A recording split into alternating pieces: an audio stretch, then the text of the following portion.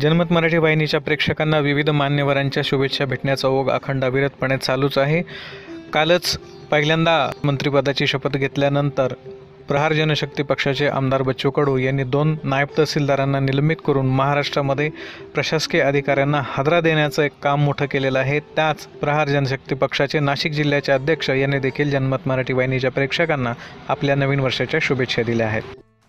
नमस्कार. जनमत मराठी वाहिनीच्या प्रेक्षकांना नाशिककरांना व समस्त शेतकरी बांधवांना व्यक्तीच्या माझे बढांगे कुटुंबीय माननीय आमदार व मंत्री मोदय बच्चूभाऊ कडू आमच्या प्रार संघटनेच्या वतीनं नवीन वर्ष सुखाचे समृद्धीचे व भरभराटीचे जावो.